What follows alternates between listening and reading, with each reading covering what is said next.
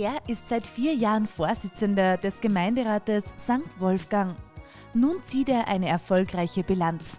Denn sowohl im Gemeindevorstand als auch im Gemeinderat wurden in den letzten Jahren fast nur einstimmige Beschlüsse gefasst. Die Rede ist von dem St. Wolfganger Bürgermeister Franz Eisel.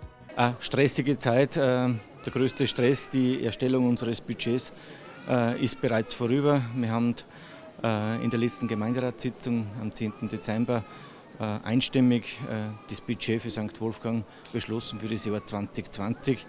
Ähm, es ist, glaube ich, ein sehr gutes Budget. Ähm, wir haben Kernpunkte gesetzt. Wir haben uns vorgenommen, wie im letzten Jahr keine neuen Schulden zu machen, äh, sondern Schulden zu tilgen. Und das gelingt uns, gelingt uns auch im nächsten Jahr. Insgesamt 700.000 Euro können wir zurückzahlen und null wird aufgenommen. Das ist, äh, glaube ich, ein sehr gutes Signal für die Bevölkerung und auf das sind wir sehr stolz. Ein Signal möchte man auch setzen mit äh, verschiedenen großen Projekten bzw. größere Projekte für das Jahr 2020. Was sind so die Eckpfeiler, die Kernpunkte?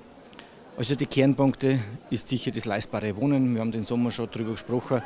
Jetzt ist es so, äh, dass wirklich alle Gründe vergeben sind. Es ist auch so, dass äh, die Aufschließung schon vergeben ist und im Frühjahr dann mit den Aufschließungsarbeiten begonnen wird. Das ist sicher der Kernpunkt. Ein weiterer großer Meilenstein ist gelungen mit dem Spatenstich in Rusbach mit den zwölf Wohneinheiten, äh, wo die Bau- und Siedlungsgenossenschaft Bad Ischl diese Wohnungen errichtet. Die Bauarbeiten haben bereits begonnen.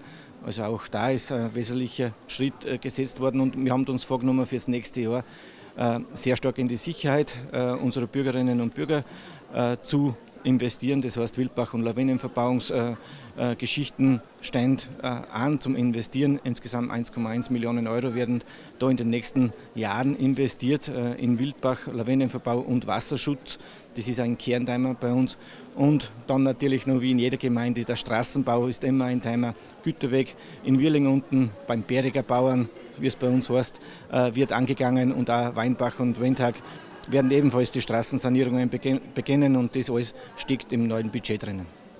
Touristische Hauptsaison ist natürlich nach wie vor der Sommer, auch wenn der äh, Winter oder die Wintermonate dem Sommer fast schon den Rang ablaufen. Äh, wie schaut es touristisch gesehen aus? Touristisch äh, sind wir auf einem sehr guten Weg. Äh, wir haben eingeschlagen, einen nachhaltigen Weg zu gehen, äh, mit sehr vielen Nächtigungsgästen, die wir lukrieren wollen. Alle unsere Werbe- und äh, Tourismus-Marketing-Aktionen sollen einfach in diese Richtung gehen, dass man Nächtigungsgäste äh, in St. Wolfgang und rund um den Wolfgangsee äh, lukrieren können. Da sind wir sehr stark in die Vor- und Nachsaison gegangen. Äh, dass wir einfach eine Saisonverlängerung erzielen im Ganzen und da sind wir glaube ich auch auf einem guten Weg. Und jetzt gerade äh, zu guter Letzt haben wir ein Mobilitätskonzept mit allen drei Gemeinden und allen drei Tourismusverbänden am Wolfgangsee in die Wege geleitet, über LIDA finanziert, äh, über die Europäische Union. Und äh, da erwarten wir uns natürlich auch am Wolfgangsee Akzente, was den Verkehr und die Mobilität betrifft.